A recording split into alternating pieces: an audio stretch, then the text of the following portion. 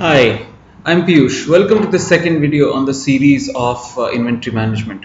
We're going to talk of cost, the classification, the inventory decisions and the inventory metrics. I hope you have seen the video one because that will clear the basics. Alright, so let's jump into the topic that we have here. Now the first thing that we're going to discuss here is the inventory cost. At this point there are two kinds of cost. One is the cost of not having enough inventory and second is the cost of having too much inventory. So there are only two categories. In not having enough, the first cost that um, we incur is we call it the cost of stockouts. Because I don't have enough material, the customers may not get the material or my factory may not get the material to production. So in stockouts, the costs are divided into primarily three categories. One is what we call as lost sale the customer comes to my shop is not able to get what uh, she wants but next time comes back to me. One. Second is what we call as a back order. So customer comes to my shop is not able to get what she wants but um, I can give a create a special delivery for the customer and um, so the customer buys from me and I have the cost of special delivery and the third is what we call as the lost customer. So the customer comes to me does not get the product that she wants so becomes a permanent customer of my competitor. So we have a lost customer. So these are three primary um, cost of not having enough. Sometimes because we don't have enough um, we have to incur additional planning cost. Okay we have to plan frequently and the cost of manpower associated with planning um, is also a cost of not having enough. Sometimes because we don't have enough, we will have to have frequent transportation. So the frequent transportation uh, is also a cost of not having enough inventory. Uh, having too much, there is a huge chunk of cost. Because we have too much, we have cash blocked. So the cost of this cash blocked is completely because we have two. So if, if I did not have the inventory, I could use the money somewhere else. I could park it in a bank and earn interest. I could invest in some other form of business and earn money. Uh, then I also have cost of space because I have too much inventory. I will need some space to park it. So that space cost uh, is the cost of inventory. I will spend more money on insurance because I have more material. I have to insure it uh, my goods could get obsolete. I could um, you know they could get old and i could not i will maybe i'm not able to sell off the goods. Uh, i could have pilferage. Uh, somebody may because i have too much people may steal my goods. So there are a host of costs here of having too much material. So the core inventory management when we say inventory management is to have that inventory so that the sum of both these two costs okay of not having enough as well as having too much is minimized. So we have to minimize uh, the cost of not having too much plus the cost of having too much. And that's what uh, inventory management is all about. Uh, let's go to the next part. Two decisions. When i say inventory management and there are two decisions what actually i mean? The two decisions here our number one decision is how much to order. Okay? How much?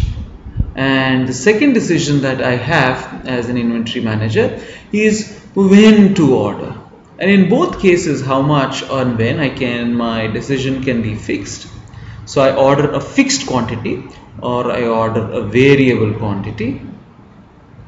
And in when also I may have the fixed I may order every fixed intervals um, I order every Monday or every third of the month or every fixed intervals. I or I could order in a variable.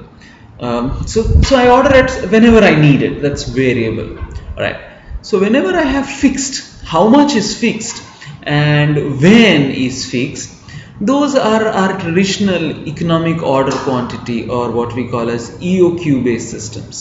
Okay um, this is applicable only in the case of highly reliable, highly reliable systems when uh, the demand is highly reliable, supply is highly reliable. Um, so when is fixed, how much is also fixed. So for example, in cases where milk comes into our home, every day um, we have a fixed quantity of milk coming. So when is fixed, how much is more or less fixed. Second is how much is fixed but when is variable. These are what is called as reorder point systems. ROP, I'm sorry, it's reorder point. Now in reorder point systems, reorder point, how much is fixed? When is variable? So we create, let's say this is the y-axis represents my inventory and the x-axis represents time and I create a reorder point level.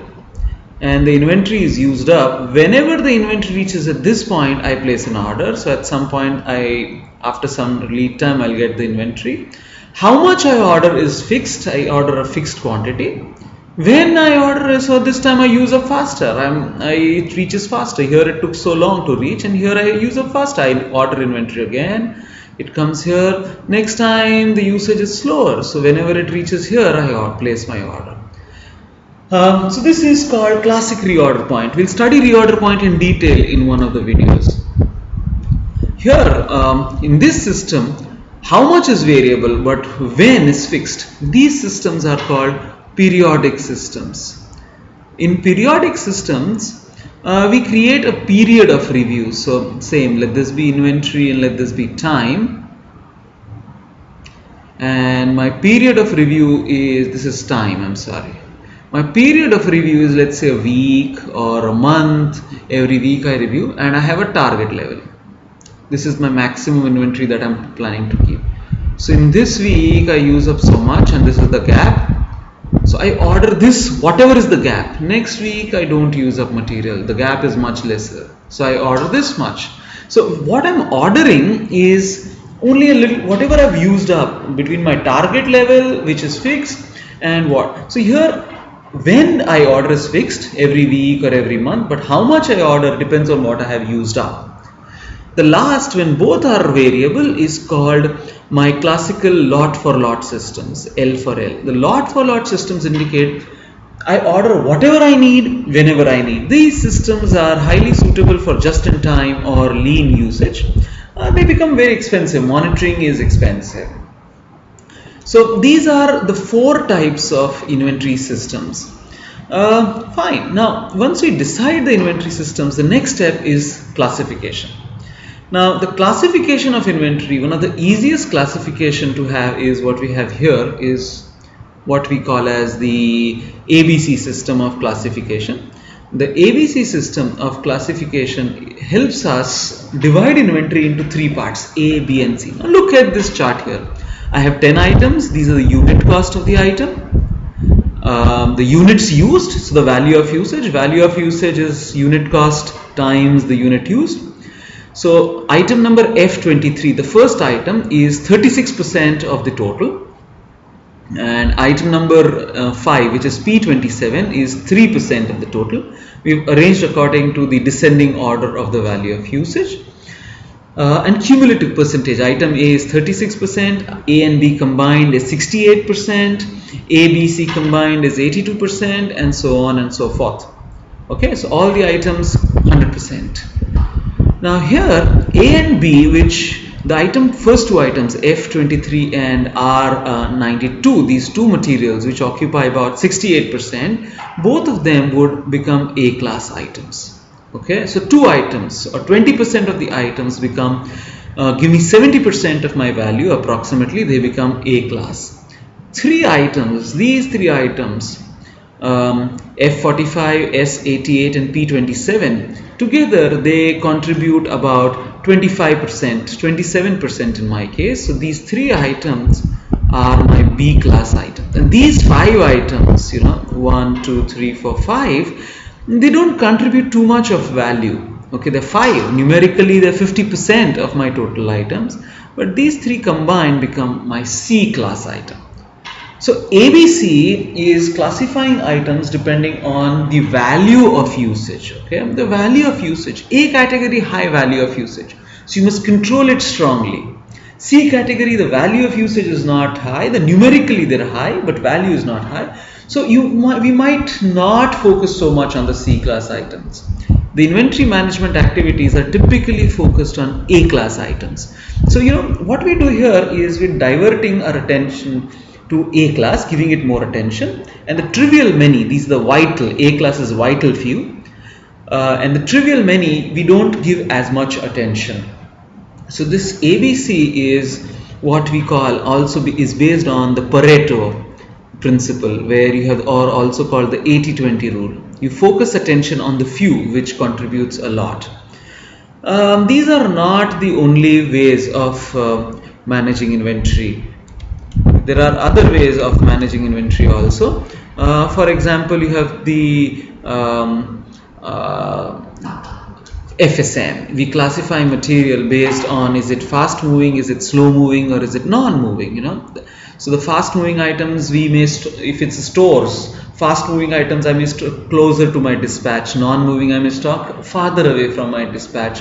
Fast moving items I may use um, a different management technique vital, essential, desirable, VED. VED I may generally keep a higher safety stock. Desirable I may not keep safe higher safety stock.